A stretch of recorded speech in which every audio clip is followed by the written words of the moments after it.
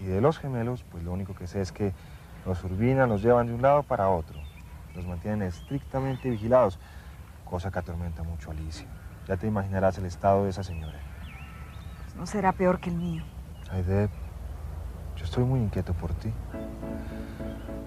Porque, no sé, te veo tan sola en este lugar, que está alejado de todo, con tantos problemas encima. Si tú me dijeras, yo, yo haría algo. Porque tú sabes que yo soy capaz de hacer lo que sea por ayudarte. Yo te agradezco, Dimas. Pero lo único que puedes hacer es velar por mi hermano. Yo quisiera velar por ti. Señorita Aide. Señorita Aide. La llama al teléfono doña Alicia.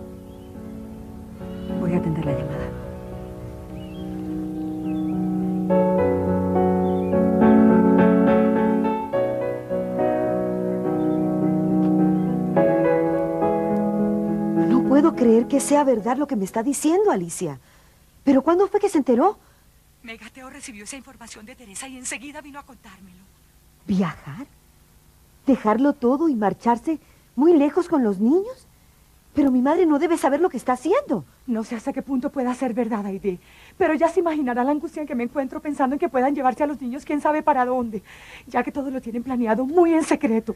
Dígale lo de la venta de las fábricas, ella debe saberlo. Al parecer, Laurentino Urbina también está planeando vender las fábricas y las demás propiedades de Doña Perfecta, lo cual significa que el asunto va muy en serio. Y si se marchan del pueblo será definitivamente para no regresar jamás. ¿Vender las fábricas? ¿De un momento a otro? Pero por Dios, ¿qué locura es esta? Por supuesto que voy a investigar. A mí no me importa que mi madre no quiera verme o, o, que esté enojada conmigo. Yo no puedo quedarme de brazos cruzados. Mientras ese señor sabrá Dios qué le está aconsejando o en qué manejos la está enredando. Sí, sí, no se preocupe, Alicia. Yo actuaré con prudencia. Gracias por la información. Ya tendremos tiempo de hablar personalmente. Ahora tengo que marcharme al pueblo. Hasta luego. Más problemas. Nada y Laurentino, ese par de malintencionados que lo están enredando todo. Yo tengo que ir al pueblo. Yo te llevo con muchísimo gusto, te voy a ayudar en todo, porque eso fue lo que te dije. Pues yo te agradezco mucho el ofrecimiento, porque con todo lo que está pasando ahora es cuando más lo necesito. En el camino te lo contaré todo. Vamos. Que le vendan las fábricas y todo cuanto le pertenece, poco debería importarme. Perfecta siempre ha basado su poder en la cuantiosa fortuna que posee. El dinero ha sido el arma que ha esgrimido durante toda su vida para someter a los demás. Y quedarse sin él sería como quedarse sin las cuatro extremidades. Ese es quizá el peor de los castigos para ella. Verse en la ruina, sin el apoyo económico que le dejó José Esteban Blanco. ¿Usted cree que los Urbina están tratando de despojarla de sus bienes? Porque una cosa es que se los ayuden a vender y otra que se los roben. ¿Todavía confía en la supuesta honorabilidad de ese bandido que es capaz de hacer cualquier cosa por el dinero? Desde luego que está tratando de robarla. Y a mí me daría mucho gusto que la dejara en la calle, porque así sufriría un escarmiento. Pero no, no podemos permitir que ese canalla se salga con la suya. Además, esta puede ser una manera de interrumpir sus planes. Eso depende de lo que puede hacer Aide, y no creo que sea mucho. Señor Briñón, ¿usted no ha hablado con el abogado Tamayo? Todavía no hemos recibido ninguna notificación del juzgado de familia. Ya la recibiremos, no se preocupe. Pero voy a llamarlo por teléfono para decirle que se apresure. Dios mío, ¿qué le pasa, señor Briñón? Es un sonido que me traslada el cerebro. Me siento, mal, muy mal. Ayúdeme a llegar a mi cuarto, por favor.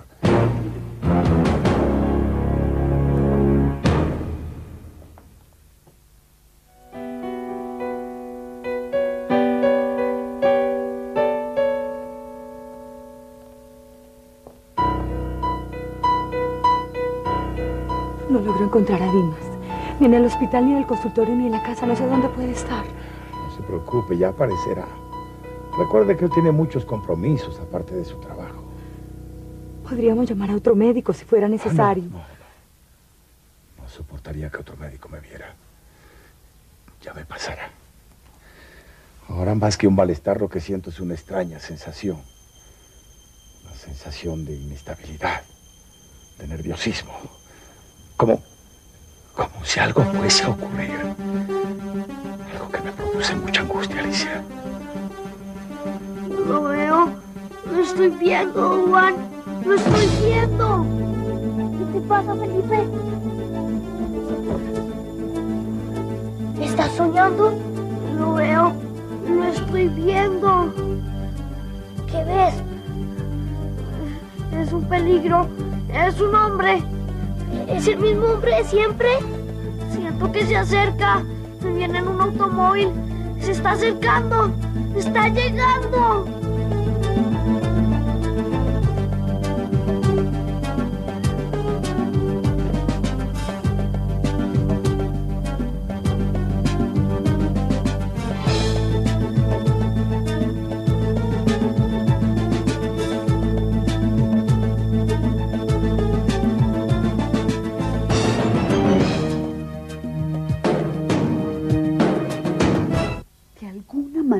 Debe estar afectando mentalmente.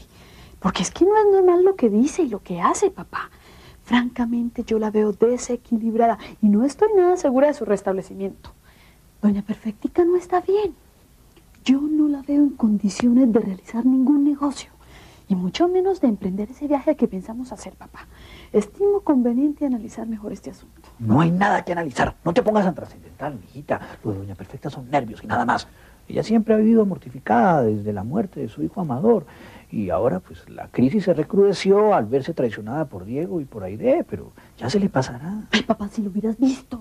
Yo no quise decir nada para no darle la razón a Teresa, pero estaba enloquecida en ese desván, gritando que ahí vivía el espíritu de Amador, que se estaba comunicando con ella y no sé cuántas majaderías más. Parecía una demente. Aunque lo estuviera, lo que cuenta es que se deje manejar por nosotros. Nos conviene que no tenga toda su lucidez mental, porque si la tuviera podría poner reparos a la venta de las fábricas y eso nos complicaría la situación. Más preocupación me merecen los gemelos. Ay, esos son otro dolor de cabeza y bien fuerte. Hoy llegaron de lo más extraños. Parece que algo les sucedió en el colegio. Se encerraron en su cuarto y no volvieron a salir, ni siquiera a comer. Se fueron a la cama sin probar bocado. Ya estás mejor, Felipe. Sí, no te preocupes. Estoy notando mal, ¿sabes? Últimamente estás viendo cosas que yo no veo. ¿No serán simples pesadillas? Tú sabes que no. Lo vi hace un momento, vi a ese hombre. ¿Es el hombre que se esconde en el desván de esta casa? No estoy seguro.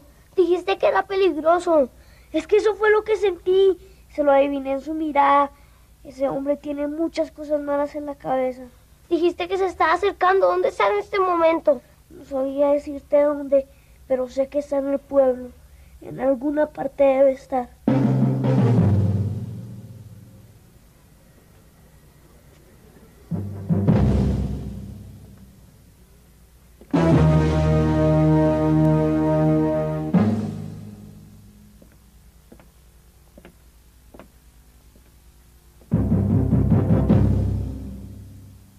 Buenas noches.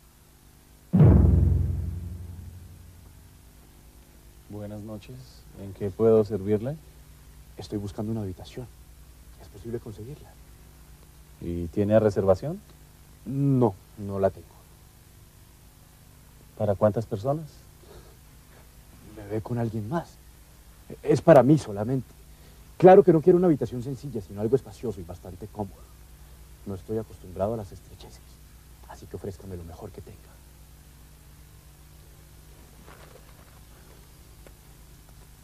¿Quiere, por favor, llenar este registro, señor? Fabio. Mi nombre es Fabio Juster. Si ha encontrado algo grave, no duden en decírmelo, Dimas.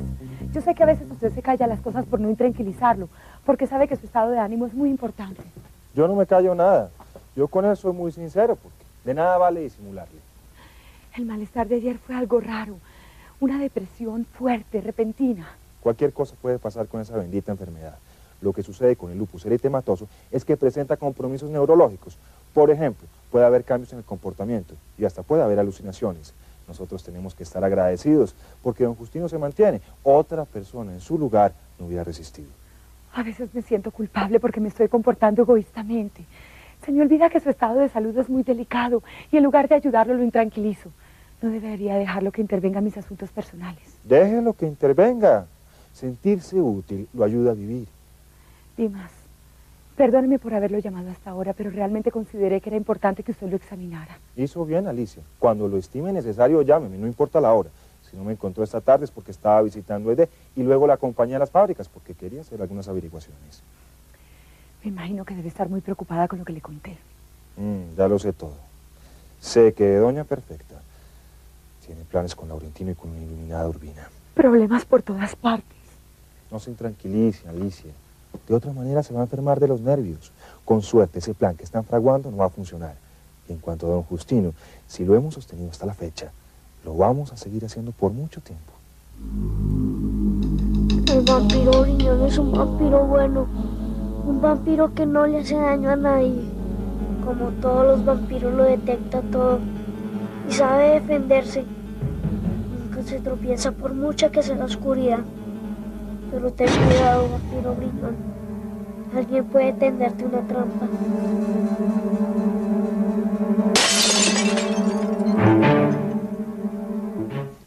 Nunca confié en la amistad de ellos, porque sabía que los dos eran unos hipócritas y unos interesados. Una vez puse en evidencia la falta de honradez de Laurentino, pero de nada me sirvió. Mi mamá creyó más en él que en mí. Es por eso que ahora está en sus manos, totalmente indefensa.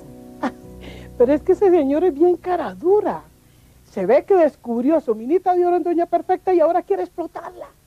Como iluminada no consiguió pescar a mi hermano. Tenían que valerse de todos los medios para conseguir el dinero que siempre han perseguido. Es por eso que se están aprovechando de nuestros problemas para sacarle partido.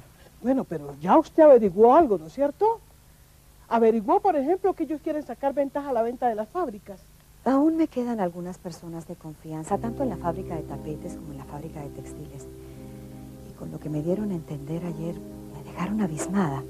Pero hoy tengo una cita con ellos para hablar más detenidamente del asunto. Ojalá que pueda conseguir una buena información para saber qué es lo que se propone Laurentino. Me parece muy bien que aunque esté apartada y disgustada de su mamá, vele por los intereses. No vaya a ser que cometa el peor error de su vida por estar de ciega y creyendo en la gente menos indicada.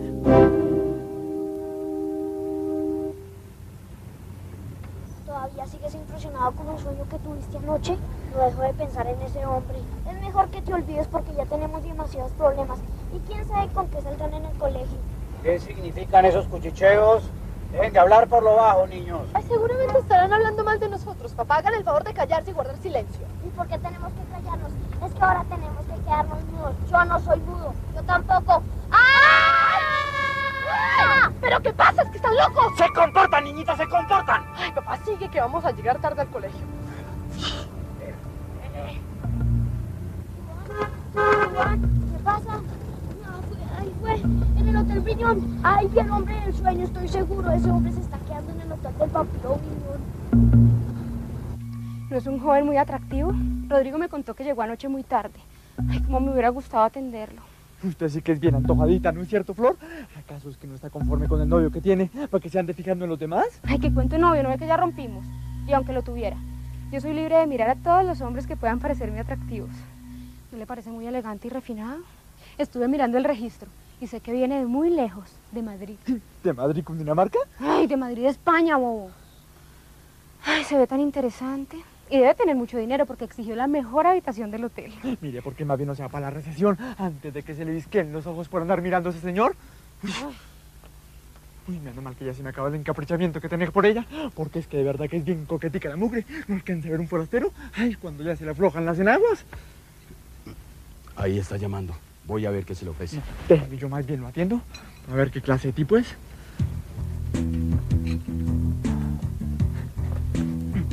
Muy buenos días, señor. ¿En qué se le puede servir? El café está demasiado fuerte para mi gusto. ¿No podrán colocarle algo de crema?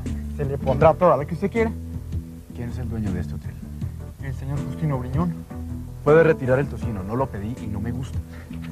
Está muerto. ¿El tocino? El dueño del hotel. ¿Vive o simplemente el hotel lleva su nombre? Pues claro que está vivo. La fruta no parece fresca. En lugar de papaya, traigo una manzana. Vive aquí en el hotel, me imagino. Pues no, señor. Yo vivo aquí a dos cuadritas en una piecita alquilada. El dueño del hotel vive aquí. No, no, no, no, claro que no. Él tiene su propia casa. Además que es una de las más lindas y más antiguas del pueblo. Tiene huevos revueltos. Mm, Pues yo no sé si los tendrá y yo no tengo por qué preguntarle eso. Pedí huevos revueltos y me los trajeron en tortilla. Mire, señora, a usted no le gusta nada. Lo mejor es que haga un nuevo pedido de su desayuno. Pero eso sí, o me hable el desayuno o me hable el señor Briñón, porque es que me enreda toditico, yo no sé de qué me está hablando. Entonces hablemos del señor Briñón. Está aquí en este momento. Claro que no, él debe estar en su casa y solamente viene en algunos momenticos. Así es que si va a hacer algún reclamo del servicio, pues es mejor que hable con el administrador o con doña Alicia Guardiola, que es quien manda igualitico que don Justino. Alicia Guardiola. Ella es la socia del señor Briñón. Como si lo fuera. ¿Y eso como para qué será? Pura curiosidad. Mejor no haga ningún pedido. Prefiero desayunar en otra parte. Qué bicho tan raro este. ¿Qué será tanta la preguntadera? ¿Para qué habrá venido aquí el pueblo? Todavía yo no me explico qué fue lo que ocurrió. Pero Beto afirma que ellos son los culpables. Si ustedes hubieran visto cómo quedó este salón. Beto miente, nosotros no hicimos nada. Estuvimos todo el tiempo quietos y nunca abrimos una ventana. Si Betico afirma que ustedes lo hicieron, fue porque así pasó. Y hagan el favor de sentarse en sus puestos y no intervenir en esta conversación. De cualquier modo es insólito lo que ha ocurrido. ¿Cómo es posible que haya entrado un ventarrón semejante solamente a este salón? Yo todavía no me lo he podido explicar. Esto parecía cosa del mismo demonio. Con estos niños cualquier barbaridad puede pasar. Entonces no se quede quieta, profesora. Imponga su autoridad. Repréndalos como se merecen. Les bajaré la nota en conducta. Eso y nada es lo mismo. Profesora, sea drástica con ellos. Castíguelos con severidad para que cojan escarmiento.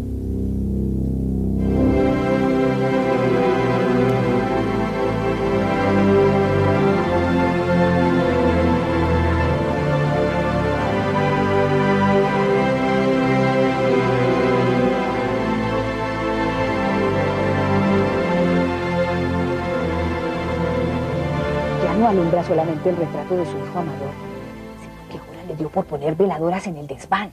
Con tanto trevejo que hay allí se puede provocar un incendio.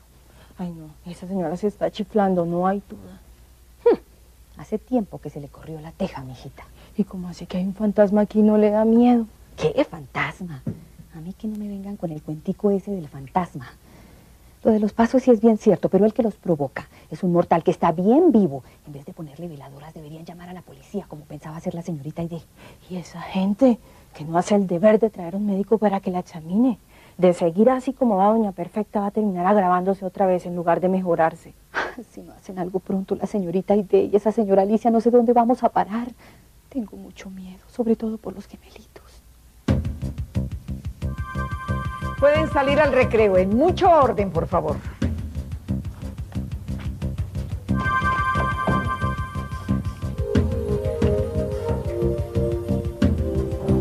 Ustedes no salen. Ustedes se quedan estudiando en castigo por lo que hicieron ayer.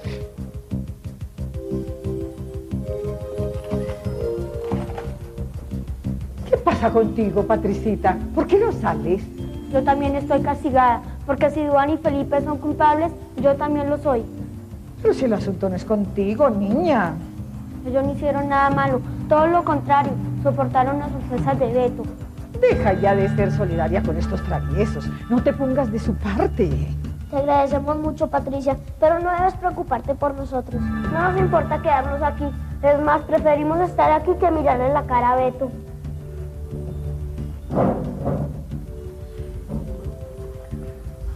Y agradezcan que no les impuse un castigo más severo. Pero ganas no me faltan. Tranquila que nosotros sabemos que los urbinas le ordenaron que nos castigaran en todo momento. Y como usted es tan amiga de ellos, les obedeció. Vamos a ver qué pasa cuando la abuela se recupere. Como ella es la dueña de este colegio, a lo mejor lo cierra y usted se vuelve a quedar sin empleo. Les levanto el castigo. Pueden salir al recreo. Gracias, pero ahora no queremos salir. No queremos. Dos de la tarde. Entonces debo reservadas en cuántas habitaciones. Tres. Tres. Tres dobles. No, vamos a doña Alicia.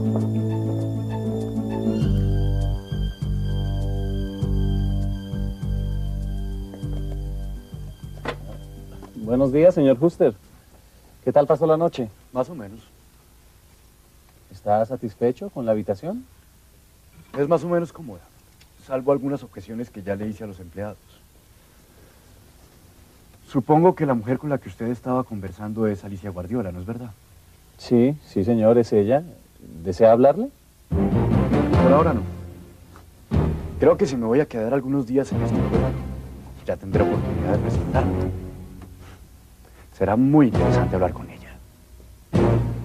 Bastante interesante.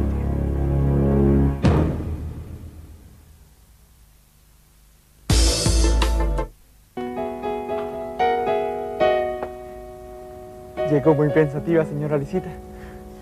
No dejo de pensar en mis hijos, y en Diego, y en el señor Piñón, que también está muy delicado. Hace poco lo acompañé a hacerse unos exámenes y le confieso que me tiene muy preocupada. Procure tranquilizarse, porque como le aconseja don Justinito, nada saca con llenarse de angustias. Yo por mi parte voy a seguir averiguando en la casa de los blancos para que no nos cojan desprevenidos. Afortunadamente cuento con la ayuda de Teresita, que es tan buenecita. Uy, no como otras ciertas pavas, que son solo pinturas y coqueteos. Megateo, hace rato nos están buscando para que cambie unos muebles de la habitación del señor Juster. ¿El señor Huster? ¿Y ese quién es? Es un cliente que recién llegó anoche y al que nada le gusta porque todo lo manda a cambiar. Además, que más averigüetas. Uy, eso pregunta más que un fiscal. A mí me parece muy simpático. Es un hombre joven bastante guapo y viene del extranjero. Así que acabó de llegar. Anoche. Me encuentro alojado en el Hotel Briñón. Es de los mejorcitos que hay en el pueblo. Los demás hoteles son bastante regulares, por no decir que malos. Siéntese.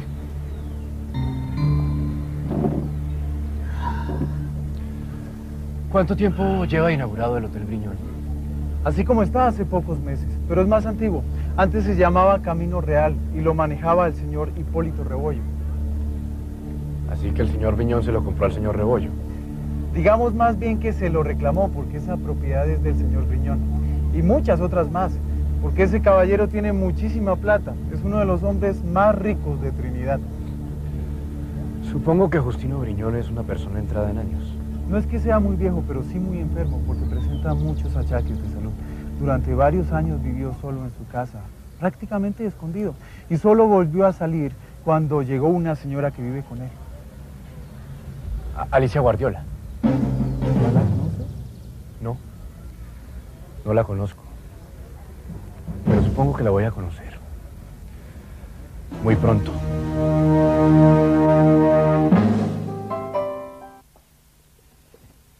Me he estado rompiendo la cabeza tratando de adivinar quién le disparó a don Diego y qué motivos tuvo para hacerlo. Y francamente no doy con el acertijo, Blasina.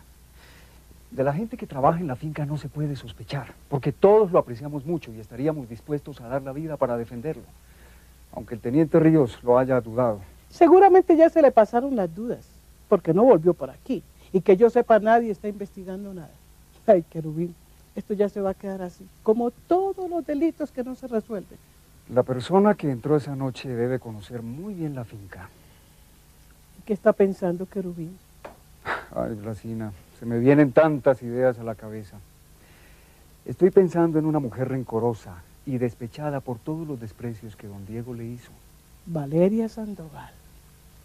No crea que no he pensado en ella, pero si no la he mencionado es para evitar lanzar alguna calumnia. Ay, pero eso no es lo que me tiene preocupada ahora. Lo que realmente me angustia es lo que pueda estar pasando en la casa de Doña Perfecta. Allí como que todo anda a patas arriba, ¿no es cierto? Gracias al abogado Urbina y a su hijita iluminada que se han tomado todo y hacen lo que les da la gana. Pues la directa responsable es la misma, doña Perfecta, porque lo está permitiendo. Ellos no podrían hacer nada si abriera más los ojos en lugar de ponerse en contra de sus hijos. Sin embargo, la señorita Aide está resuelta a intervenir y yo estoy de acuerdo que lo haga. Esta mañana salió muy temprano a hablar con algunas personas de la fábrica. Ay, Dios mío, que la proteja y que me la ayude. Pues yo no sé cómo podrá hacer algo contra esa gente si no cuenta con ningún respaldo.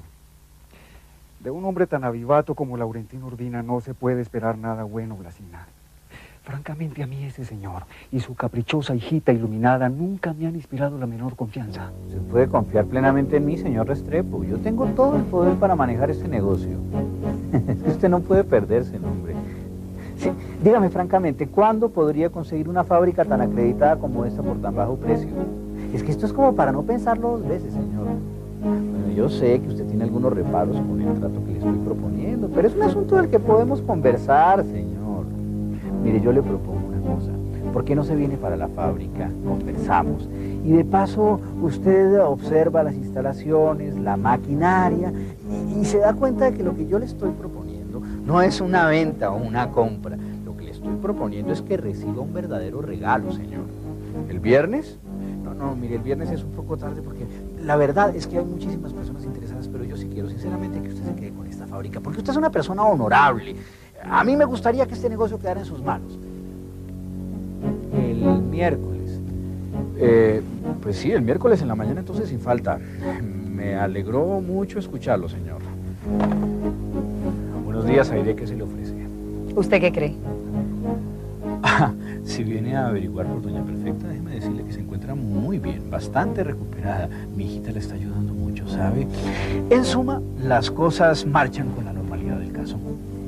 Ni ella está bien, ni nada está marchando con la normalidad que usted asegura.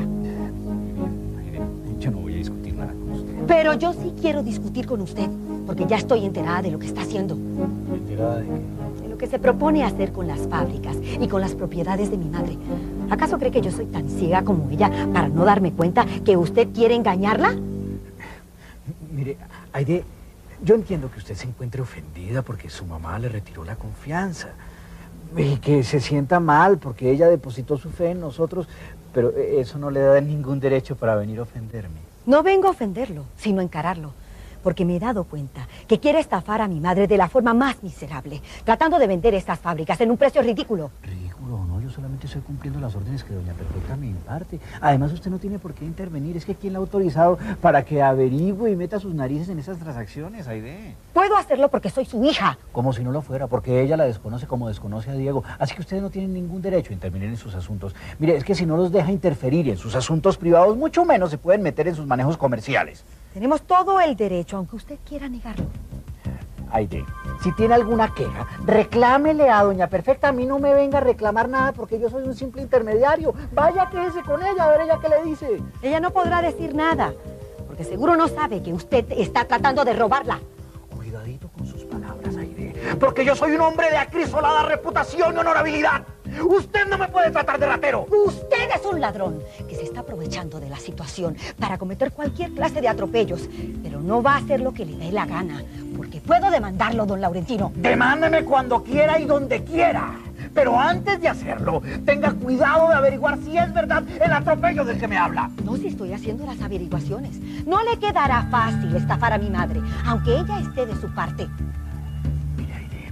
A mí no me amenace, porque tengo la conciencia tranquila y puedo responder por mis actos con la frente en alto. Esto no es una amenaza, es una advertencia, porque yo no ataco por la espalda, ni me rebajo a proceder de la forma tan rastrera en que usted lo hace. No le quedará el campo libre, don Laurentino, para hacer lo que le dé la gana. No lo tendrá.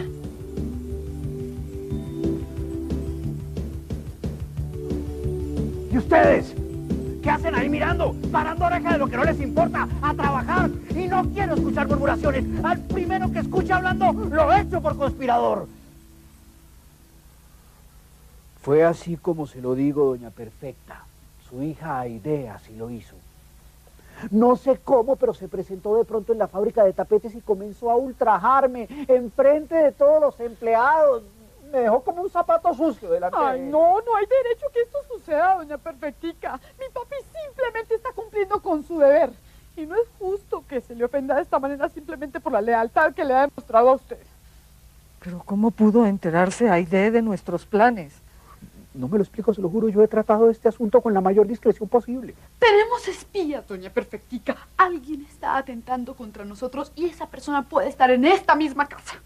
Eso no es posible, iluminada. Pues claro que es posible, doña Perfectica, porque las paredes pueden tener oídos y nuestras conversaciones privadas pudieron haber sido escuchadas. ¿Entiende lo que eso significa, doña Perfectica? ¿Estás acusando a mis nietos? No, claro que no se trata de ellos, porque yo los he vigilado constantemente y me consta que no pudieron comunicarse con nadie. Pero las empleadas sí pudieron hacerlo. Teresa, por ejemplo. No se le olvide que ella ya la traicionó una vez y que ha sido la mejor cómplice de Aide. Esa sirvienta mañosa nos está jugando una mala pasada. Llámenla. Hablemos con ella para saber a qué atenernos.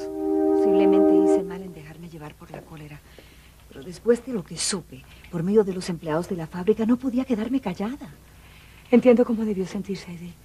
Pero hizo mal en enfrentarse a ese hombre porque al hacerlo lo puso sobre aviso. Ahora él tomará sus medidas para seguir con los planes. Es que no tenía otra salida. Tenía que hacerlo entender que no tenía el camino libre para hacer lo que le diera la gana. Como si mi madre estuviera sola. Tiene dos hijos que la pueden defender. Diego nos hace mucha falta. Estoy segura de que si él pudiera intervenir, Laurentina Urbina jamás se hubiera atrevido a llegar a esos extremos. No puedo esperar a que Diego se alivie. Debo protestar por todo este desastre que se nos avecina. Además, hacer algo para evitar la venta de esas propiedades. Yo creo que sería muy prudente consultar a un abogado para saber hasta qué punto Doña Perfecta puede disponer de una fortuna que no solamente le pertenece a ella, sino también a ustedes, ya que es parte del patrimonio que les dejó su padre. En eso he estado pensando. Nosotros tenemos nuestros derechos y mi madre tiene que reconocerlo y darse cuenta que va a tener muchos obstáculos. Yo voy a hacer todo lo que esté al alcance de mis manos, Alicia. Si me quedé aquí y dejé mi carrera, no fue para quedarme cruzada de brazos.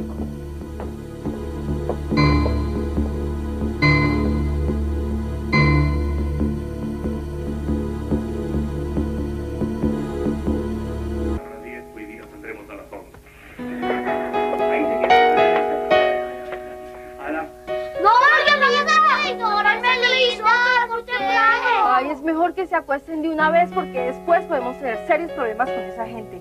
Además, ustedes saben que ellos se quedan mucho con Doña Perfecta. ¿El viejo de Laurentino está aquí? Desde hace rato. Ay, yo no sé. Pero presiento que algo malo está pasando y Teresa puede tener serios problemas con ellos. Acérquese, Teresa. ¿Qué se le ofrece, Doña Perfecta? Queremos saber si usted se ha comunicado recientemente con Aide. Le advertí muy claramente que usted no podía conversar ni con Aide, ni con Diego, ni con ninguna otra persona que pudiera representar un peligro para nosotros. ¿Lo hizo Teresa? No he conversado con nadie absolutamente. Y no entiendo por qué me hacen esa pregunta. Se ha filtrado cierta información que solamente la puede saber una persona que vive en esta casa. Y como usted siempre ha sido tan cómplice de Aide, sospechamos que se trata de usted. Yo soy una persona muy respetuosa y no escucho conversaciones ajenas. No he oído nada ni le he contado nada a nadie. No me extrañaría que estuviera mintiendo, porque usted es experta en eso. La gentecita de su clase es muy solapada, ¿no? Más solapados pueden ser otros que se creen de mejor clase que yo. Se da cuenta, doña Perfecta, respondona, como siempre. Esta, esta no se muerde la lengua para desafiar. No conviene que usted tenga elementos tan poco recomendables en su servicio. Soy de la misma opinión. Estoy harta de tener que soportarlo. No digas más, iluminada.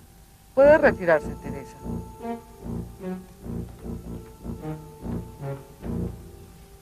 Ay, no lo dude más, doña Perfectica. Teresa no debe estar cerca de nosotros. Yo no puedo despedirla hasta que no tenga pruebas contra ella. No olviden que en las fábricas muchos empleados quieren aire. Seguramente alguno de ellos le contó lo de la venta. Es que eso no es posible, doña Perfecta. Le repito que he extremado las precauciones para mantener el secreto del negocio que pensamos hacer. Pues alguien tuvo que descubrirlo y contárselo a Aide. Porque ¿qué más, Laurentino? A mí lo que me extraña es que haya sido Aide la que haya hecho el reclamo, en lugar de Diego. Porque él es más agresivo e impulsivo que su hermano. Ay, lo que pasa es que a Diego poco o nada le importa lo que sucede a su alrededor. Él simplemente está pendiente de Alicia Guardiola. Esa descarada lo tiene más absorbido que nunca. De todas maneras, no voy a despedir a Teresa porque podría estar cometiendo una injusticia. Los que deben preocuparnos son Aide y Diego. Porque si ellos lo saben todo, pueden entorpecer nuestros planes. Y yo necesito salir de este pueblo con mis nietos lo más rápido posible, pase lo que pase. Ustedes no tienen ningún derecho a despedirme. Doña Perfecta no me ha dicho nada. No le dijo nada porque no quería tener ninguna discusión nos encargó a nosotros la tarea de notificarle que a partir de este momento ha resuelto prescindir de sus servicios. Voy a hablar con ella. Que me lo diga en mi cara. Mm, ¿No ha entendido o qué? Ella no quiere discutir con usted y por eso nos dio la orden a nosotros, que somos los que administramos esta casa. Ustedes serán los que administran. Pero ella fue la que me empleó. Si va a echarme, quiero escucharlo de su boca. No, señora. Usted no va a ir a indisponerla más de lo que está, ni más faltaba. Ahora mismo voy a hacerle su liquidación para que mañana a primera hora se marche de esta casa. Aquí nos estorban los espías. Y tanto doña Perfecta como nosotros sabemos que usted lo es. Sin más preguntas y sin más reclamos, voy haciendo su maletica porque se larga mañana mismo. Se larga porque no toleramos más sus intromisiones, Teresa. ¿Y se va a quedar por bastante tiempo en el pueblo? Puedo quedarme algunos días como puedo marcharme muy pronto. No lo sé todavía. ¿Y viene a visitar a alguien en especial? Digamos que vine por curiosidad y a conocer a alguna gente. Este es un pueblo muy pintoresco. Sí, debe serlo para la gente que viene de lejos. Usted viaja mucho, ¿cierto, señor Huster? Desde muy jovencito estoy recorriendo el mundo. Todavía no he visto al dueño de este hotel. Es que se encuentra delicado de salud y por eso se la pasa encerrado en su casa. Al fin y al cabo aquí está doña Alicia Guardiola, que es la que se encarga del manejo del hotel. Alicia Guardiola, ¿qué relación tiene con él? ¿Es alguna pariente? no, la verdad es que no son nada, pero él la quiere como si fuera su hija. Y es por eso que ella dispone de todo. Sí, ahorita la vi conversando con otra señorita. Sí, estaba ya hablando con Aide Blanco. Ella es la hermana del novio de doña Alicia. Doña Alicia tiene novio. sí, claro. Y también tiene dos hijos porque es viuda. Cuéntame usted, ¿es casado o soltero? ¿Dónde puedo encontrar al antiguo propietario de este hotel? A un señor Rebollo. En la discoteca Ibiza Blue. Es un lugar que debe conocer, porque es el sitio de diversión más elegante del pueblo. Si yo tuviera tiempo lo acompañaría con mucho gusto. Usted es encantadora. Y le agradezco mucho por la información.